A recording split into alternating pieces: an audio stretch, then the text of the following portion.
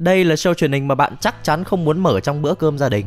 Vì ngay phút đầu tiên đã có cảnh 18 cộng. Đúng, đây là phim giáo dục giới tính. Nên nếu có ai bắt gặp bạn đang xem phim này, hãy bảo đây là phim giáo dục. Đây là Otis, nhân vật chính của bộ phim. Người đã lên cấp 3 nhưng vẫn chưa biết đập thịt. Mẹ cậu là bà mẹ đơn thân kiêm nhà trị liệu của lối sống phóng khoáng, thường xuyên mời bạn về nhà. Tất nhiên là mẹ cậu cực kỳ rạch ròi giữa khách hàng và con hàng. Otis luôn cảm thấy xấu hổ về nghề nghiệp của mẹ. Vì lũ bạn mà biết thì cậu sẽ bị chọc đến chết. Otis có bạn thân là Eric. Eric thích con trai, thích chơi nhạc và thích ăn mặc kiểu hơi drag queen một tí. Vì một lần lỡ chào cờ trước toàn trường, mà cậu bị gọi là cưng, cưng chìm. Tên đầu gấu Adam là kẻ hay gọi Eric như thế nhất. Tên này có cây sắc to bằng hai lon coca, Ý tôi là xếp chồng lên nhau. Và hắn đang cặp kè với Amy. Tuy nhiên cô này có cố gắng bao nhiêu cũng chẳng thể làm lon coca của Adam xì bọt được. Amy vì thế mà đến gặp Maeve. Amy hy vọng được Maeve hướng dẫn cho cách làm đường. Đường ông sán. Và cuối cùng Maeve lại là crush của Otis đó là sơ sơ tuyến nhân vật và mọi chuyện chuyển từ sang education khi mà trong một lần nghe thấy tiếng hét bên trong khu nhà vệ sinh cũ Otis đã tư vấn cho khách hàng bất đắc dĩ đầu tiên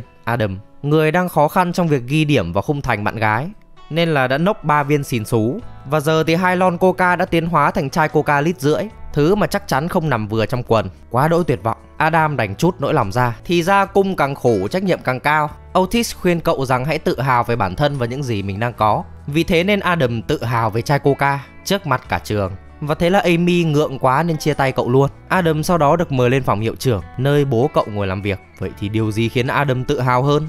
Có bố làm to hay có thằng nhỏ to nhất trường? Trường cấp 3 là một môi trường giáo dục tiềm mẩn đầy những vấn đề về tình là bài toán đau đầu cho giáo viên cùng các bậc phụ huynh.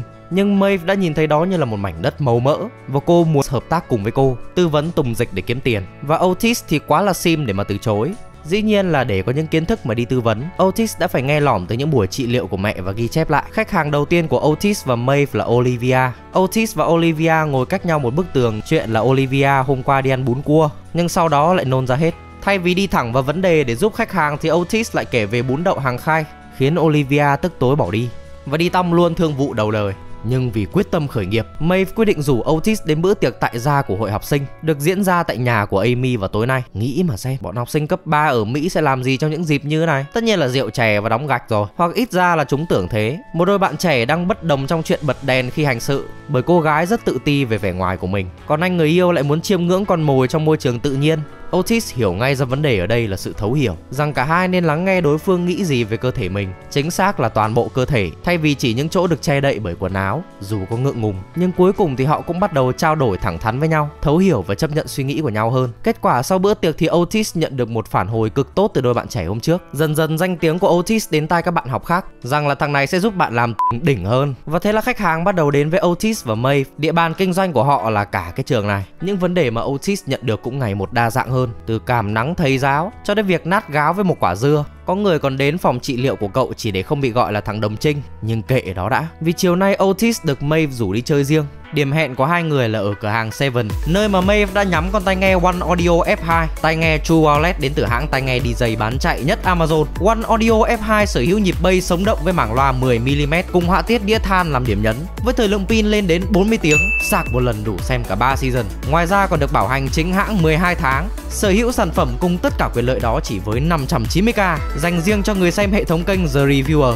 Khi anh em nhấn vào đường link tôi để phía bên dưới, Sẽ có ngay mã giảm giá 50k Nhấn lưu mã để được giảm giá. Lúc đầu cậu cứ tưởng là hẹn hò đáng yêu La Vienro Nhưng thực chất cô lại cần cậu đi cùng để làm thủ tục phá thai, Và chắc chắn sẽ ảnh hưởng đến mê về cả tinh thần và sức khỏe. Phá thai là tốt hay xấu, Đặc biệt là khi có thai quá sớm, Mỗi người một quan điểm. Nhưng chắc ai cũng sẽ phải đồng ý rằng để tránh phải đưa ra những quyết định khó khăn như này, Hãy sử dụng biện pháp tránh thai ngay từ đầu, bao gồm bao cao su, Tính ngày an toàn để quan hệ, Uống thuốc tránh thai khẩn cấp Và làm Maeve có thai là Jackson một tài năng bơi lội trẻ và đang muốn từ FWB thành người yêu của Maeve nhưng cậu không hề biết Maeve đã có thai và đang đi phá vì cảm thấy không đủ tin tưởng và cũng không muốn cậu nhận thêm trách nhiệm gì. Vì thế nên cô chọn Otis để đi cùng mình, một người đủ thân thiết và không phán xét. Cô và Otis lại cùng có mommy issue. Một người thì có bà mẹ suốt ngày nói về tình dục, còn người kia thì bị mẹ bỏ phải sống một mình trong khu nhà hộp. Cuộc nói chuyện đã kết thúc một ngày chẳng vui vẻ lắm với cả hai. Đoán xem Maeve sẽ làm gì sau khi phá cái thai của Jackson nào? Cô tiếp tục cùng Jackson chơi Jenga ngược Thay vì rút gỗ ra thì họ lại nhét gỗ vào.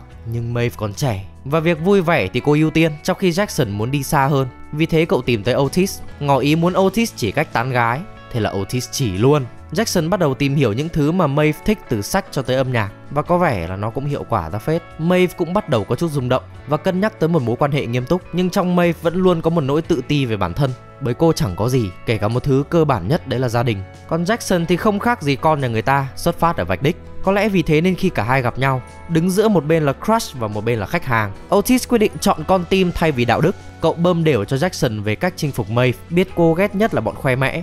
Otis xúi Jackson làm một màn tỏ tình công khai theo phong cách High School Musical. Otis có thể hiểu tính chất bắc cầu, nhưng cậu không hiểu rằng logic thông thường không áp dụng với phụ nữ. Maeve hóa ra lại đổ đứ đừ sau màn tỏ tình công khai của Jackson. Và thế là hai người họ chính thức hẹn hò. Một tháng trôi qua, Jackson quyết định mời May về nhà để ra mắt gia đình, nơi mà cậu có tận hai người mẹ cùng quá trời sự yêu thương và có phần hơi quý sở tộc quá so với May nên cô bỏ dở bữa ăn. Nhưng còn một thứ khác trên đĩa của cô, vụ phát tán ảnh nhạy cảm của Ruby, Dua Lipa của trường cô. Otis và Maeve hỏi ra được Ruby đã gửi ảnh đó cho bạn trai cũ. Tên này lại khai rằng hắn không đăng, hắn chỉ gửi cho thằng bạn Kyle. Thằng Kyle khi được gặng hỏi thì cũng chối nốt. Vậy thì hung thủ thực sự là ai? Sau quá trình Conan thì họ tìm ra cô bạn thân của Ruby là Olivia mới chính là thủ phạm. Bởi Ruby suốt ngày hạnh hoẹ cô là con đỗ nghèo khỉ và Olivia vốn ghen ăn tức ở nay lại còn cáu. Còn Eric, người bị Otis bỏ bom trong ngày sinh nhật để đi với gái, đang lê lết về nhà với một cơ thể đầy những thương tích theo nghĩa đen. Không những bị ăn trộm ví, cậu còn bị một thằng dở hơi tấn công vì ăn mặc kiểu drag queen. Tất nhiên là Otis không biết điều đó. Khi về đến nhà và gặp lại Eric, cậu còn thao thao bất tuyệt về một ngày được ở bên Maeve. Thế là Eric chịu hết nổi, sấy cho một bài ca về tình bạn từ năm lên 9 Đổ lỗi cho Otis khiến cậu tả tơi như thế này. Otis thì lại căng mồm ra cãi. Thế là đôi bạn dỗi nhau, ai về nhà nấy. Còn May, cô quyết định xin lỗi bạn trai Jackson vì sự đột ngột ra đi của mình. Không những thế, May còn dẫn Jackson về nhà và nói thật về hoàn cảnh gia đình. Mẹ cô thì nghiện đét bờ bụi ngoài đường. Bố thì bỏ vợ con và chẳng thèm chu cấp. Rồi thì tới lượt Jackson Bên trong cái vỏ bọc là con nhà người ta. Hóa ra cậu lại là một cậu bé mắc chứng rối loạn lo âu Áp lực thành tích và là mẩu keo cuối cùng cho cuộc hôn nhân của hai mẹ. Sau khi mở lòng Mối quan hệ của họ ngày càng phát triển. Đêm đó họ đã tâm sự rất nhiều. Quay lại với sự vụ lộ ảnh nhạy cảm của Ruby, dĩ nhiên nó đã đến tai nhà trường và thầy hiệu trưởng bêu đầu người trong bức ảnh trước khi thấy Ruby bị công kích vì hành động thiếu suy nghĩ của mình. Olivia lại đứng lên bảo rằng cái trong ảnh là cái của cô và rồi cả trường lần lượt từng người đứng lên, lùi tôn lùi tôn Nhờ thế mà mâu thuẫn giữa Ruby và Olivia cũng được giải quyết. Hôm nay, Otis quyết định rằng mình sẽ chấm dứt những cái ngày tháng dài đằng đẵng làm trai tân. Khi ngỏ lời muốn kết hợp với Lily, cô bạn có hơi quái dị nhưng lại cởi mở trong chuyện chăn gối. Thế là Otis dẫn cô về phòng và hành sự. Lily muốn mọi thứ diễn ra như phim cấp 3, trong khi Otis lại cảm thấy đó như là một bộ phim kinh dị, cậu bắt đầu lên cơn hen khó thở, khiến Lily phải mở cửa phòng ra tìm sự giúp đỡ của mẹ cậu. Người vừa bị quyến rũ bởi ông bác sửa ống nước, có đôi mắt xanh hơn cả CUSO4. Cuối cùng thì Otis vẫn là trai tân. Trai tân này hồi sáng còn tư vấn cho Amy, người đã thử quá nhiều lon Coca, sờ tinh Pepsi hay thậm chí là Yakult, nhưng chưa bao giờ biết bản thân mình muốn gì trong chuyện chăn gối. Lý do là vì cô chưa từng thử tìm hiểu về cơ thể mình. Và lời khuyên ở đây là tự mày mò khám phá cơ thể mình thật nhiều. Tuy lúc đầu cũng thấy kỳ kỳ, nhưng Amy dần dà cũng thành công và có thể nâng tầm trải nghiệm yêu đương với bạn trai mới. Còn Eric sau khi bị ăn đấm vì cách ăn mặc, cậu đã thử outfit trầm tính hơn và... nhưng đến cuối ngày, Eric nhận ra việc gượng ép bản thân mình chẳng có tí gì hay ho cả. Tốt hơn hết, hãy cứ là chính mình. Vì mạnh mẽ không thể hiện ở cách ăn mặc hay điệu bộ, nó nằm ở cách mình đón nhận và phản ứng lại với mọi thứ.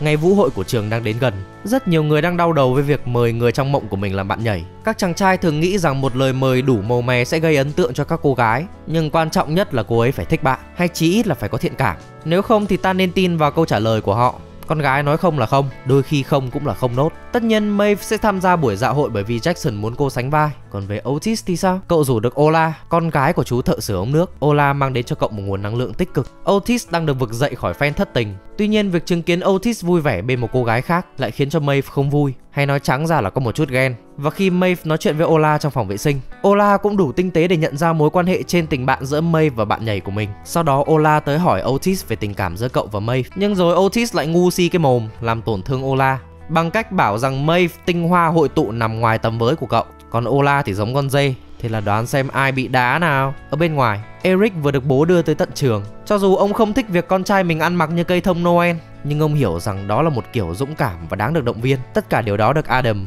Người chưa bao giờ nhận được sự công nhận từ bố mình, Chứng kiến từ đầu đến cuối. Adam định ra tẩn cho Eric một trận vì ghen tị, Nhưng lại chẳng thể ra tay khi đứng trước cậu là một Eric hiên ngang, Không còn sợ hãi những định kiến. Trong ánh đèn màu, Eric gặp lại Otis Và Otis đã xin lỗi cậu thật lòng. Thế là đủ để hàn gắn những tổn thương cùng một điệu nhảy trong bài hát tình yêu. Giữa lúc mọi thứ đang đi vào đúng quỹ đạo thì liềm cậu bạn vừa làm tí chất kích thích đã trèo lên cung trăng và thổ lộ tình cảm của mình với Lizzy. Người trước đây vẫn coi cậu như một tên biến thái bám đuôi. Đứng giữa đám đông, Lizzy đã nói không. Vậy thì còn điều gì quan trọng với kẻ đã bị tình yêu từ chối? Dĩ nhiên là có, gia đình bạn bè bla bla bla. Nhưng với Liam thì không. Thế giới quan trong cậu sụp đổ, cậu định nhảy từ cung trăng xuống và Otis vội can ngăn. Cậu làm một bài diễn văn để thể hiện sự đồng cảm sâu sắc với Liam. Với cương vị là người cũng không được đáp lại tình yêu, Tất nhiên là với Maeve. Tình yêu sau cùng cũng chỉ là trò chơi may rủi. Không phải cứ cho đi là sẽ được nhận lại Ta vì nàng mà rời non lớp 7 Nàng cáp lại đem kể cho lũ bạn thân Chốt lại yêu hết mình thì không bao giờ là sai Có sai thì chỉ là sai người Bài diễn văn này may mắn đã đi vào lòng Liam Và khiến cậu hạ cánh an toàn Maeve nghe bài diễn văn thì cũng biết ngay Otis đang nói tới mình Cô quên luôn sự tồn tại của Jackson và tìm tới tiếng gọi của con tim. Nhưng giữa lúc hai trái tim đang đập cùng một nhịp, Jackson xuất hiện và nói hết về chuyện cậu đã thuê Otis để biết được sở thích của Maeve. Và thế là Maeve lại chuyển qua dỗi Otis vì biến mình thành một phi vụ làm ăn. Sau đó cô quyết định đưa Jackson về nhà trong tình trạng say xỉn.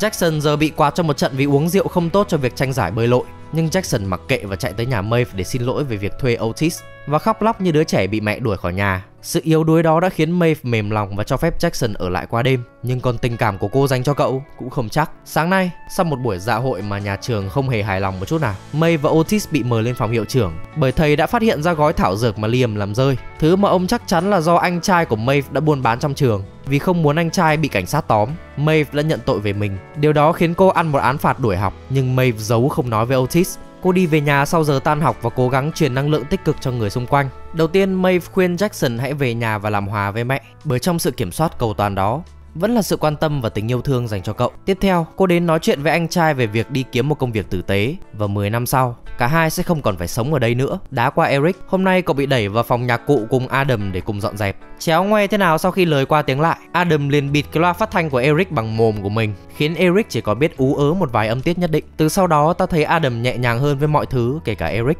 Nhưng sự cải tà quy chính của Adam là quá muộn màng bởi bố cậu đã book cho con trai một vé ở trường quân sự Phần 1 kết thúc cùng những mối quan hệ, cái thì giang dở, cái thì chớm nở. Đối với Lily, cô bạn khao khát được quét mạng nhện trước khi tốt nghiệp, vẫn không thể tọa nguyện khi hang tối của cô không cho phép vật thể lạ xâm nhập. Maeve thì gần như ăn chắc một án nghỉ học đến từ hội đồng nhà trường. Trong khi đó, Jackson lại quá quan tâm đến chuyện yêu đương. Vì thế mà cả hai chia tay. Maeve thì có quá nhiều vấn đề và tổn thương, còn Jackson thì trong đầu vẫn cứ La Vie and Ngược lại, Otis và Ola quyết định hẹn hò nghiêm túc sau khi Otis chủ động làm hòa và bố mẹ của cả hai cũng đang làm điều đó, nghiêm túc quan hệ. Những gì xảy ra sau đó thì là việc của phần 2 và tôi còn quại. Xin chào và hẹn gặp lại.